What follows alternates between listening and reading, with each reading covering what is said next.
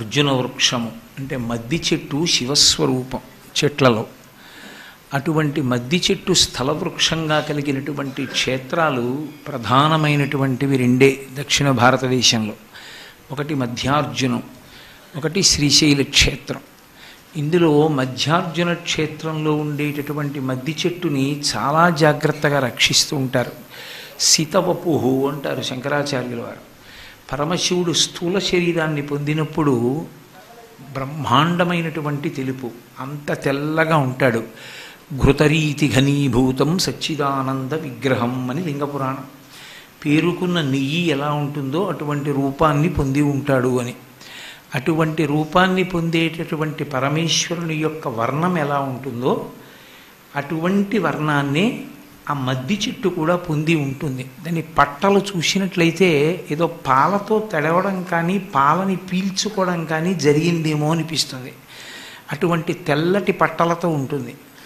ఆ తెల్ల మద్ది చెట్టుని సాక్షాత్ పరమశివుని యొక్క స్వరూపంగా చెప్తారు. నమో వృక్షేభ్యో హరికేశాయోపవీతి నే పుష్టానాం పతయే నమో నమో అని శ్రీరుద్రం వృక్షము శివస్వరూపంగా చెప్పబడింది.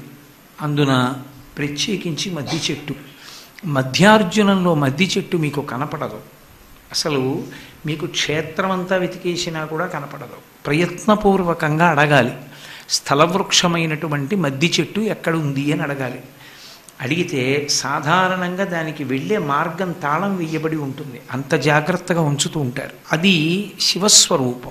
మళ్ళీ అటువంటి స్వరూపం అటువంటి మద్ది చెట్టు ఉన్నటువంటి క్షేత్రం శ్రీశైల క్షేత్రం.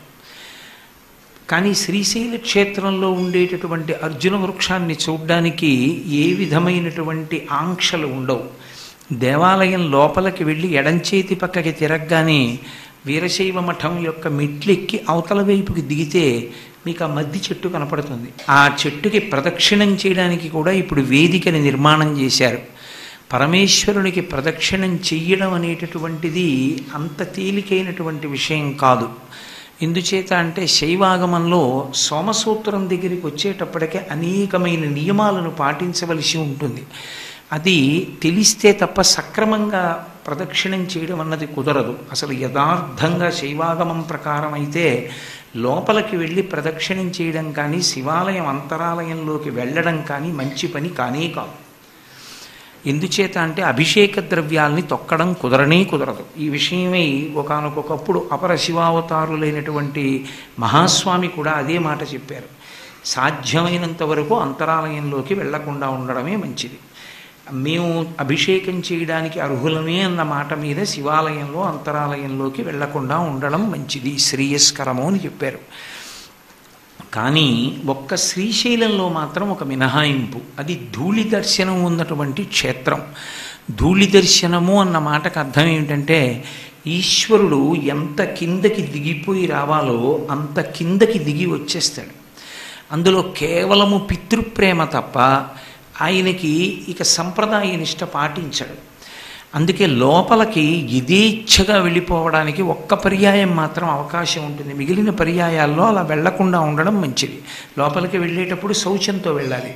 ఒక్కసారి మాత్రం అలా వెళ్ళినా శివుడు సంతోషిస్తాడు అని. ఎప్పుడు అంటే శ్రీశైల క్షేత్రానికి మీరు ప్రయాణం చేసి చేరగానే ఒకవేళ దేవాలయం ముందర ఎక్కడో దిగారనుకోండి గుళ్ళోకి వెళ్ళిపోయి శివుణ్ణి చూడాలనిపిస్తే కాళ్ళు చేతులు కడుక్కోవాలన్న నిబంధన కూడా లేదు వెళ్ళిపోవచ్చు. వెళ్ళిపోయి శివలింగాన్ని ముట్టుకుని దర్శనం చెయ్యవచ్చు.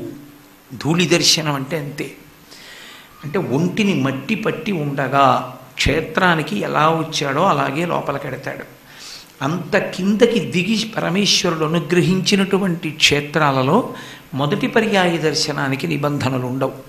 కాబట్టి శ్రీశైలంలో విశేషమేమి అంటే పరమశివుడు ధూళి దర్శనాన్ని ఇస్తాడు అదే మీరు గుజరాత్లో ఉన్నటువంటి సోమనాథ్ క్షేత్రానికి వెళ్ళారనుకోండి సోమనాథ్ క్షేత్రంలో అసలు శివలింగం దరిదాపుల్లో కూడా వెళ్ళడానికి ఉండదు.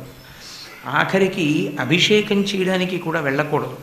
దూరంగా నిలబడి ఒక గొట్టం ఒకటి వెడుతూ ఉంటుంది. అక్కడే నీళ్ళు పోయాలి పోస్తే ఆ గొట్టం మించి నీళ్ళు వెళ్ళి శివలింగం మీద పడతాయి. తప్ప ఎవరూ శివలింగం దగ్గరికి వెళ్ళరు. ఇంకా సోమనాథులో మన చేత్తో నీళ్ళు పోస్తారు.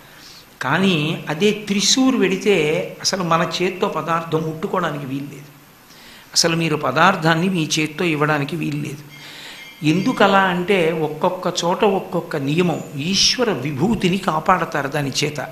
త్రిశూర్లో ఉండేటటువంటి శివలింగం మీద అర్చకులు ఆరు నెలల పాటు అక్కడే ఉండి పూజ చేస్తారు.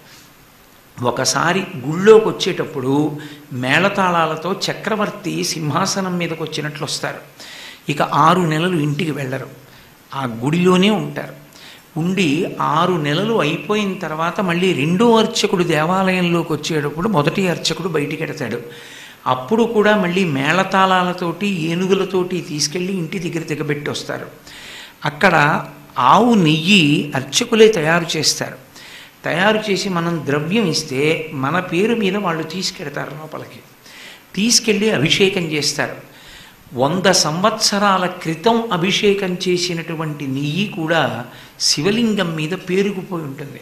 పక్కన గుత్తి దీపాలు వెలుగుతూ ఉంటాయి. యథార్థానికి దేవాలయ ఆగమాన్ని అనుసరించి దేవాలయం లోపల విద్యుచ్ఛక్తి దీపాలు వెలగకూడదు అది ఈశ్వర తేజస్సుని హరించేస్తుంది.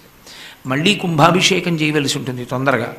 లోపల ఏది ఉండాలి అంటే ఒక్క దీపాలు మాత్రమే వెలుగుతూ ఉండాలి. అది పైనుంచి గుత్తి దీపాలని దింపుతారు. లేదా ప్రమిదలో పెద్ద దీపం వేస్తారు. ఆ దీపమే గురువు